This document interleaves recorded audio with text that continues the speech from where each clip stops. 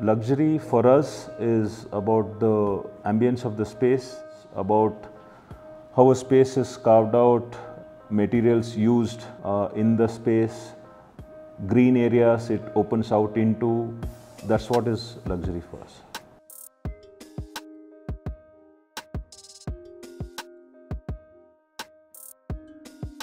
Marble is something which is always uh, connected with a luxury because I mean you, you see it predominantly used from ages together in temples and so on and so forth.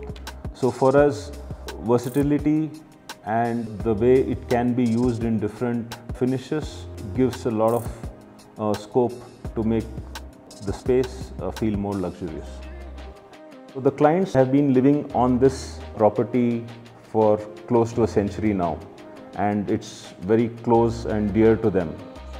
The site is located off Brigade Road in Bangalore on Puliyarkovil Street. The site is the third site from the main road and it is covered densely on all the sites by neighboring properties.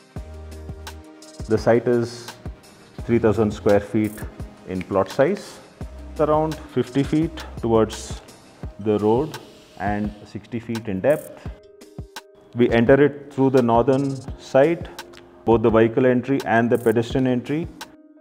We have the main staircase core which has the lift and the staircase in the northwest quadrant of the property and all the services and an office for the client tucked in in the rear on the southern and the western side. We have also used the door of the old ancestral property as an entry to the office.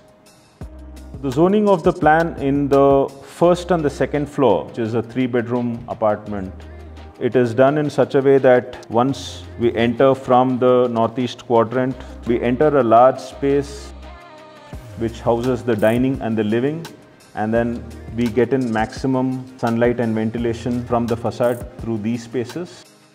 We also have puja courtyard which is a sculptural element kept into this space and all the services like the kitchen and the three bedrooms are tucked in the southern and the western quadrants.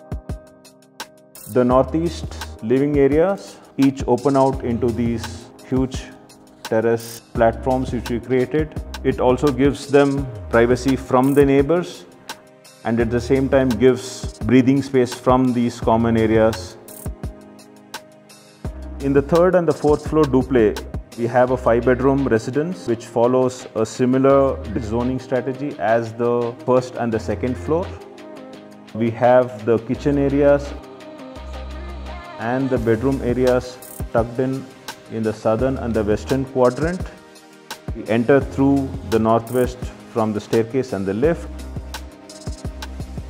We are standing in uh, probably the heart of the house and we have a very large space over here with a very sculptural puja court and the internal staircase of the house.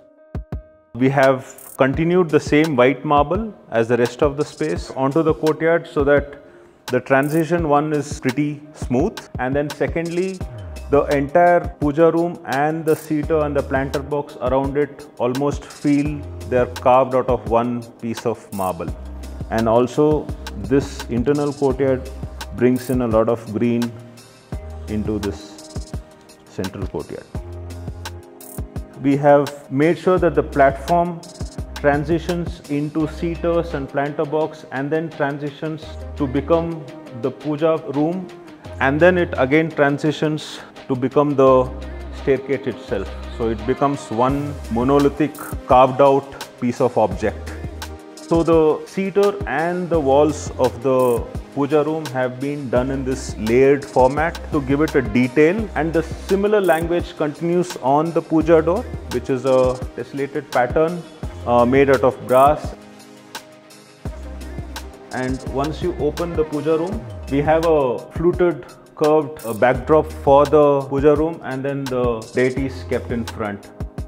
We have used a slab of marble which is carved out to get this uh, fluted effect and it is highlighted by this lighting effect which we have given in the ceiling. This fluted effect again gives it a very soft feel, almost like a curtain and it kind of dematerializes the marble a little bit. The marble platform also has a groove right in the center to break the scale of the platform and it's also transition to these steps wherein we have a combination of uh, solid steps and also the floating platforms which we have created and this the overall composition of the seater the puja room and the staircase uh, terminates at the landing to make sure that the scale of this overall composition remains low.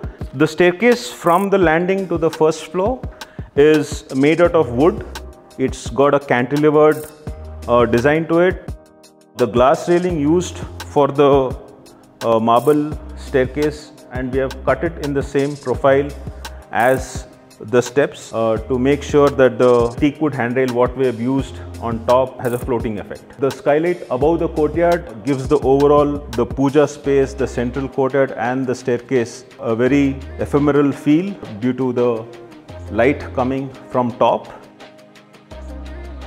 The living spaces and the dining spaces in the Duplex apartment have double height which allows us to bring in a lot of natural light and ventilation from the northern side through the deck.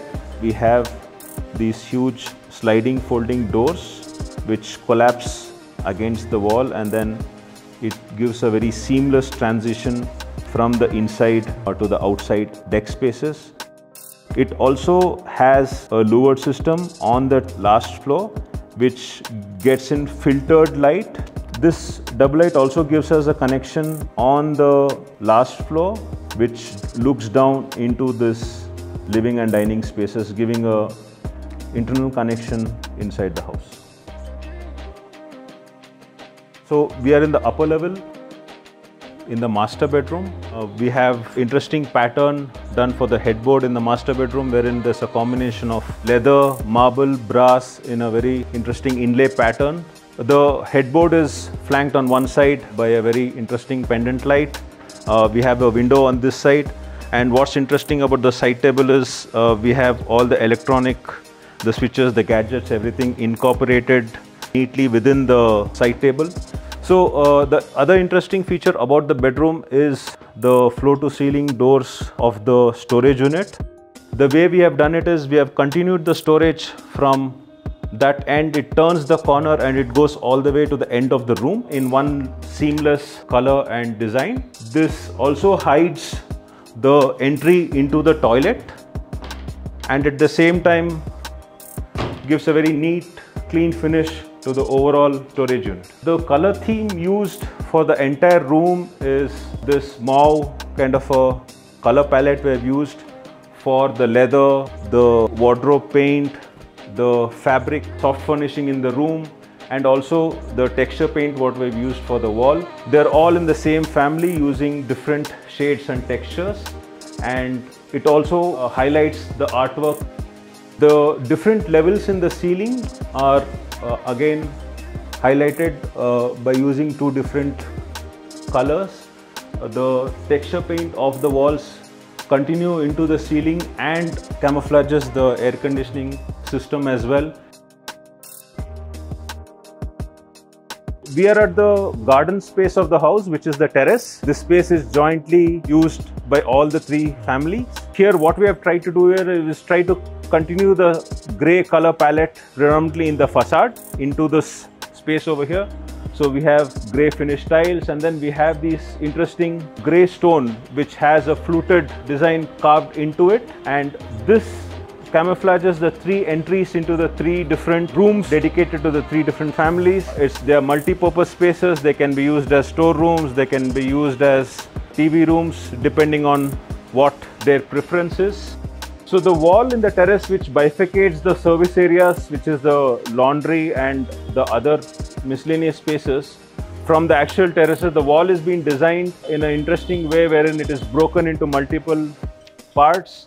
The planters have been incorporated behind the wooden seating over here and the grey stone acts as a nice backdrop for these planters. We have also interspersed them with these sculptures and outdoor lighting elements over here. So the space is divided into the rooms and the open area is accentuated by the pergola space right in the center, which we have used pine wood to give it a warm feel from the lower level and we have used glass on top which cuts down on the on the rain this corner of the terrace has been uh, designed as a seating space for the family with a covering on top and the plants in the edge giving them privacy from the neighbors. So the facade, we broke it up as a composition of the staircases and the balcony since it was three dwellings on top of each other and uh, in a tight site we had to make sure that the composition of the overall build did not look very tall. So we had to break up the balconies and the staircase block into separate forms so that we could achieve this effect. We predominantly used three materials for the facade. We have a Corten steel which has a very rustic feel, goes with the overall color theme and the ambience of the spaces around. We have a salmon color light uh, pastel shade uh, which encloses the balconies and we have a textured gray which we have used to complement both the Corten steel and the pastel color and it holds up the entire composition with this color palette. Site and the surroundings was pretty much devoid of any greenery. Uh, we had to get in a lot of greenery elements within the building and the facade is also a very important part of this composition wherein the three balconies are treated differently and the greens are part of this overall composition. There is also the strip which separates the service core and the main house which is treated with these green elements which gives us a nice break and a nice smooth transition from the grey to the pastel color shade. So the future of luxury products I think is going to be more artisan based wherein it is not a set product of the computer but it is things which are carved out more hands-on designs which comes out of people. So we have predominantly used uh, white marble throughout the house to give it a very seamless transition between different spaces but also gives it a lightness to the space because we had a challenge of bringing in natural light and uh, ventilation into the space. To complement this for the walls and the ceilings we have gone with a textured pastel colored shades in most of the spaces which complements this white marble uh, very well. For the client to move into this house after demolishing a very cherished ancestral property, we had to make sure that we give him something which he can be equally proud of.